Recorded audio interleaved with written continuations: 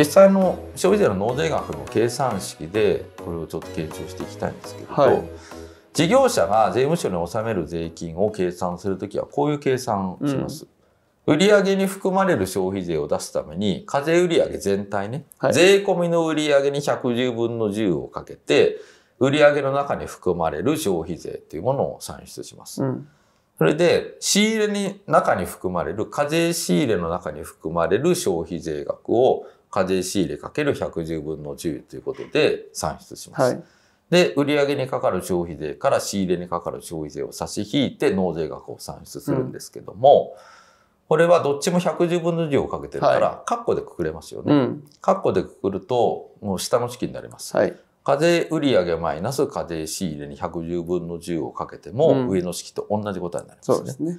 で、このカッコの中に注目してもらうと、課税売上マイナス課税仕入れっていうのは、上のグラフ見てもらうと、売上から課税仕入れ引くと、利益と非課税仕入れが残るじゃないですか。はい、なので、消費税っていうのは事実上、利益プラス非課税仕入れに課税しているのと一緒だということになります。はいうん、だから消費税は付加価値税と呼ばれるわけですよ。うん、付加価値に課税してるから。はい、で、非課税仕入れっていうのは基本的には人件費ですよね。はいなので、利益プラス人件費に課税するのが消費税の本質ですよ、うん、ということになります。うん、で、まあ今、インボイス制度が入ったんで、はい、経費の部分は課税仕入れ、非課税仕入れというよりも、インボイスのある経費とインボイスのない経費というふうに分類されるようになりましたけども、法人税っていうのは利益だけに課税されるのに対して、はい、消費税っていうのは利益プラスインボイスのない経費に課税されるから、はい。うん、課税ベースが広い、広い。過酷な税金である。うん。だから第二法人税であるとい。うことができるんですけど、はいうんうん、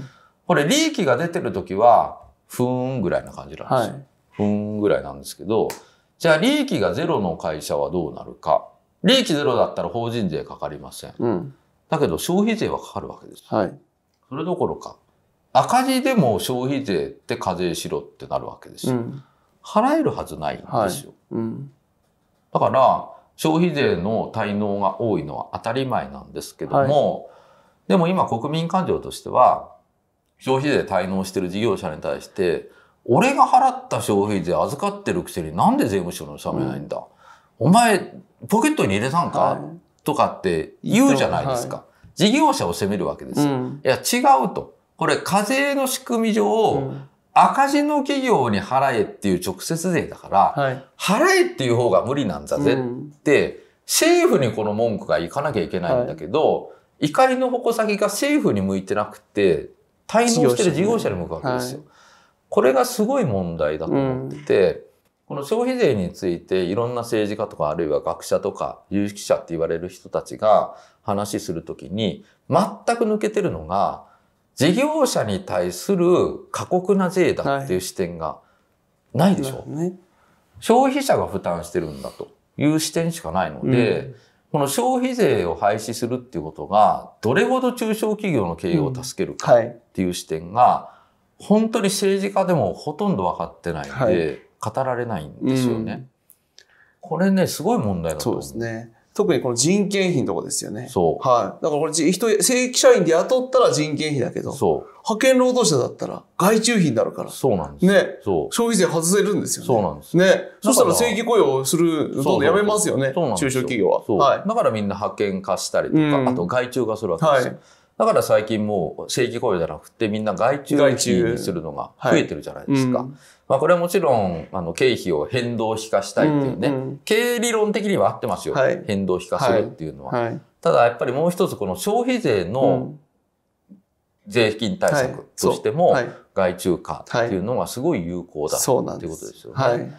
これが結局不安定雇用を招き、それからやっぱりキャリアアップスキルアップできる人はできるけど、うん、なかなかやれない人は、スキルアップできないで、低賃金で固定化されるってことにもつながる、で、結果的に少子化にもつながってくるわけですよね。はい、本当に消費税っていうのはそういう意味でも、ものすごいダメージを与えている税金であるとい。うことができると思います。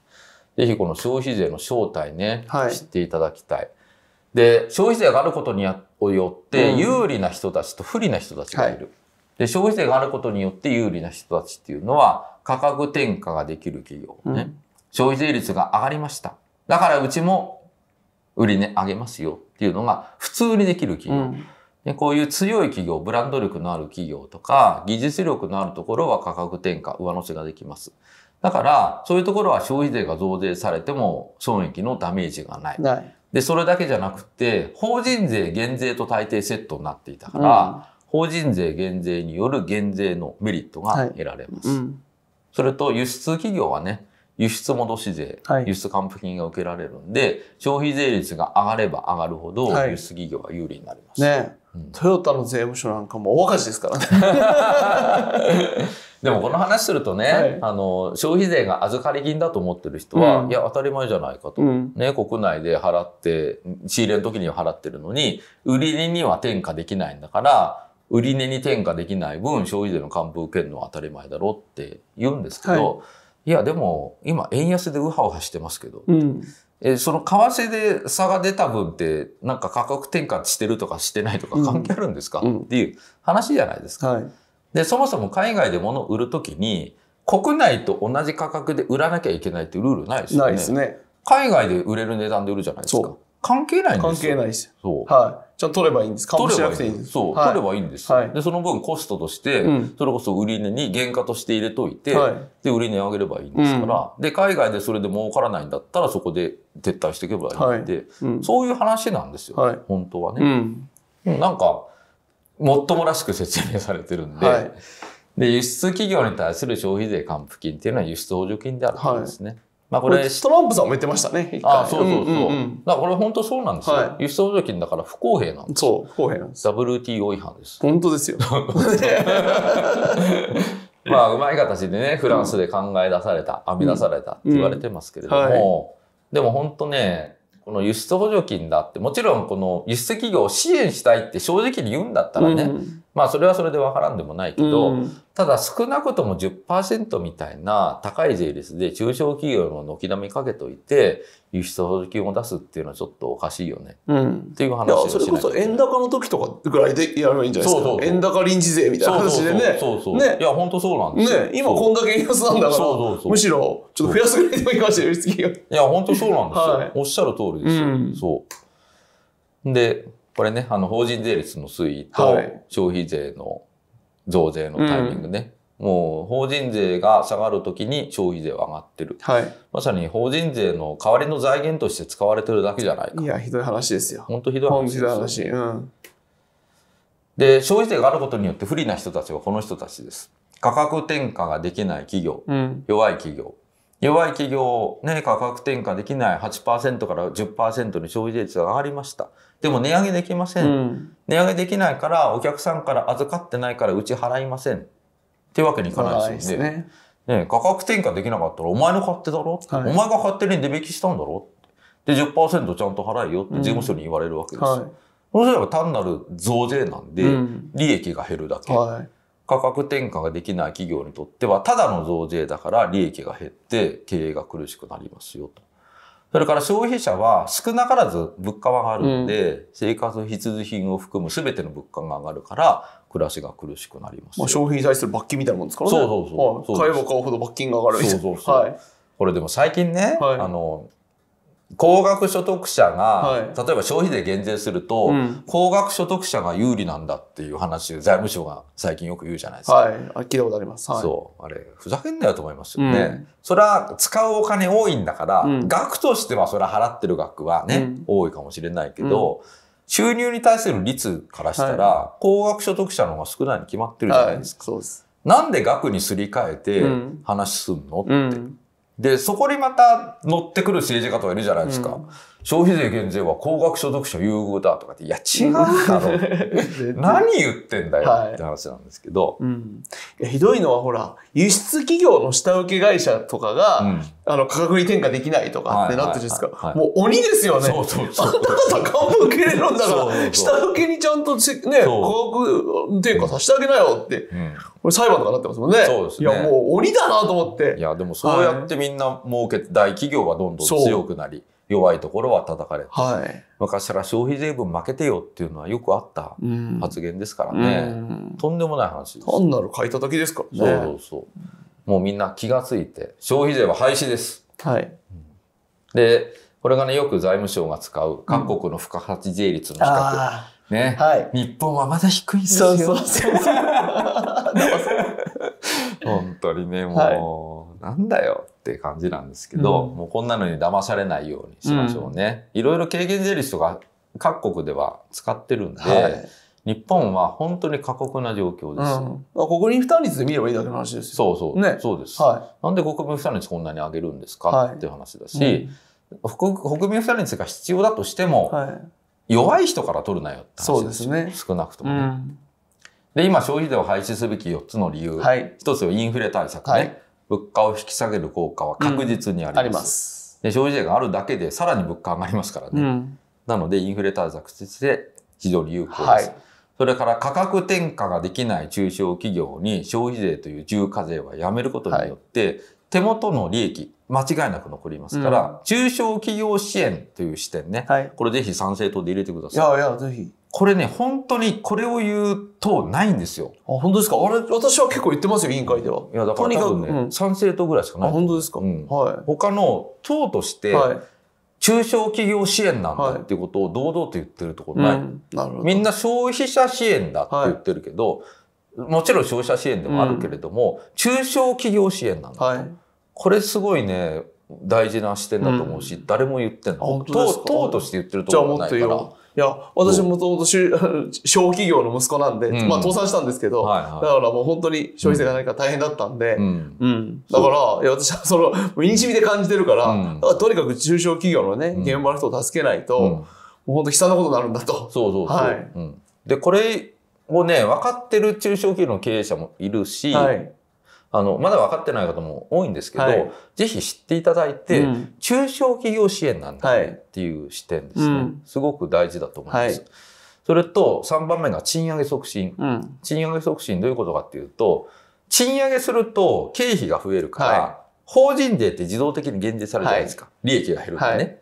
利益が減るから法人税自動的に減税されます。うん、賃上げ促進税制なんか作んなくても、はい、法人税は自動的に減税されるんで、うん、賃上げの原資が減税によってちょっと出てくるっていう論理になるんだけれど、はい、消費税は賃上げしても 利益プラス人件費に課税されてるから、消費税は減税されないんですよ。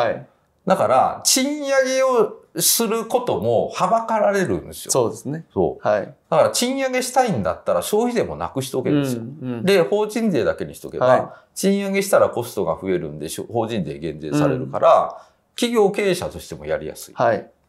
ね。ぜひ賃上げ促進という面でも訴えてもらいたい。うんそれから4番目が、さっき神谷さんもちょっとおっしゃいましたけれど、円安なんで、輸出企業はウハウハです。うん、だから消費税の還付金っていう補助金はいらない。はいはい、今こそやめられる。はい、だからもうこの4つの理由で消費税は今こそ廃止するべき。うん、で、よく言われるけど、消費税は安定財源ですよって言われるけど、安定財源だからダメなんですよ。うん、景気悪い時にも取るなよ。はいっていう話ですから。そうですね。だからもう集める側の論理ですよね。そうそう経済を成長させてあげようとか、国民をサポートしてあげる側の論理じゃないですよね。うん、そうなん集める側の論理ですよ、ね。そうそうそう。はい、安定財源だからダメなんだっていうこともね、広めたいですよね。うん、税金っていうのは調整装置、はい。経済を調整するためのものだから、はい、景気が悪い時は減税、景気がよく加熱したら増税っていう当たり前のことをやるという話です。はい、それに一番合わないのが消費税だったんですね。うんそれとこれ最後ですけれども、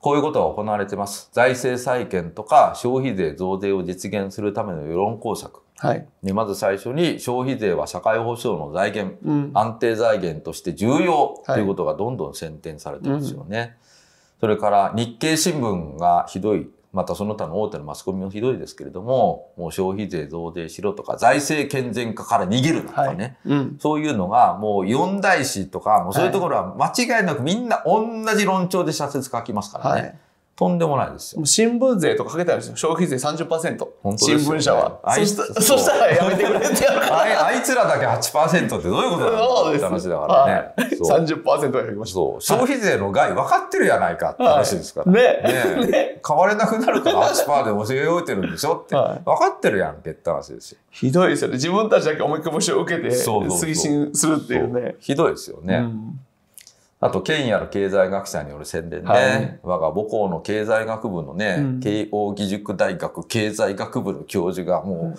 その先頭立ってやってる気がしますからね、うん、東大とかもね。まあ、いつの時代もいろんな分野で御用学者って言いますからね。そう。はい。本当とんでもないですよ。うん、あと、国会議員のところにもご説明に来てると思います。はい。神谷さんとこ来ないですか？来ない。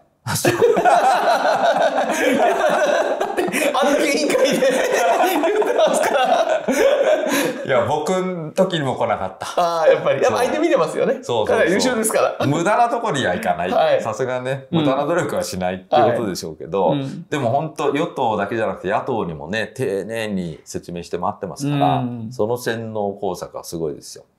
先生のおっしゃる通りです。そうそうそう。はい、先生ご承知の通り。そうですね。そう、釈迦に説法ですが、はい。もうなんだよって話ですけど。うん、はい。それから影響力のある有名人ね、はい、あのインフルエンサーとか、うん、なんか有名な、ちょっと成功したような人が、はい、財務省側の理論をね、うん、よく喋ってますけど、うん、あの人たちもくせ者だと思います。はい。それから最近すごい気になるのが国民分断工作ね。はい、高齢者対若者みたいな。高齢者がこう無駄にお医者さんに行ってたりして、はい、で、はい、その分若い世代が社会保険料をものすごい負担させられて苦労してると。はい、だからもう高齢者ね、あの有名な成田なんとかっていう人もいたじゃないですか。とんでもない発言ですよ。ああいうこと言ってもでも叩かれないでしょ。うん。あんなん普通だったらもう社会的にとんでもない発言してるから、普通だったらテレビなんテレビなんか出したらいけないと思いますけど。まあ政府の候補にも使ってて問題になってますよね。そうそうそう。うん、だからそういうことやって若い人たちがかわいそうだと。高齢者がいっぱいいて負担もしてないからっていうことで、この世代分断工作をやってる気がするんですよ。はいでも、ね、私も昔乗ってて、市議会議員の時とか、はい、それ、まあ自分分かったので、うん、うん、同じようなこと言ってましたよ。うん。うん、で、分かってる、あ、これは日本人の分断だと思って。そうそう。はい。これ本当とんでもない話で、うん、いや、心配すんなと。高齢者の年金だって上げられるし、はい、若い世代の社会保険料負担は下げられる。国がちゃんと力を使えば、はい。若い世代の社会保険料負担は下げられるから、うん、高齢者を敵視する必要はありません。うん、で、高齢者、みんなね、高齢者になるんだから、その時に、こんなの本当に実現化されたら、みんな高齢者になった時、えらいことになりますし、うん、こんな日本でね、その若い世代が高齢者がいるから俺たち迷惑被ってんだよ、みたいな世論出来上がったらどうします、はい、とんでもない。とんでもない社会じゃないですか。もうこんなの絶対やらせたらダメだし、はい、こういうことを堂々と言う人たちが増えてきてるっていうのは、本当に今日本の世の中病んできてると思いますよ。うん。これを直すためにも政府にはお金があるんだっていうことはちゃんと知ってもらわなきゃいけないし、はい。うん、消費税っていうのは必要のない税金だっていうことも知ってもらいたいし、はい社会保険料は下げられる年金守ってあげられる、はい、そういうこともね知ってもらいたいと思います。あの財政法4条とかもね、なんとかしないと。うん、でもね、僕、財政法4条は、別にあのまんまでも、あの予算ちゃんと組めば、うやむやにできると思うんですできます実はね。まあ、だから向こうが使うじゃないですか、ロジックに。まあ、使うけど、いや、政治家が強くなればいいですよ。そう。世論の力を身につけて。そうですね。で、まあ、最後は、最後は世論ですよ。そうそうそう。で、それをこう役に掲げて、勝った政治家は強いですか？ら。そうですね。そう。やっぱりそれがあるべき政治家の姿だと思うし、まあ、財政法4条はまあ確かに変えるべきだとは思うけど、財政法4条の話すると結構また難しいんで、まあねはい、まあちょっと後でいいかなって僕は個人的には思ってます。まあ分かってる人にはね、はい、あの言ってもいいと思うんですけど、みんなに分かってもらいやすいのはやっぱり消費税の話が一番分かってもらいやすいかな。はい、みんなに関係する話なんでね。はい、うん、というふうに思ってますね。はい。はい。わ、うん、かりました。今日はですね、本当に日本の経済のバランスシートの話からですね、はい、消費税の話まで、はい、わかりやすく説明をしていただきました。はい、もう参政党も、まあ、もうほぼ政策、まあ、おっしゃった通りなので、はい、ぜひ、えー、党の皆さんにもこれ見ていただいてですね、よりわかりやすく読めていただければいいんじゃないかなというふうに思います。はい、どうもありがとうございました。はい、ありがとうございました。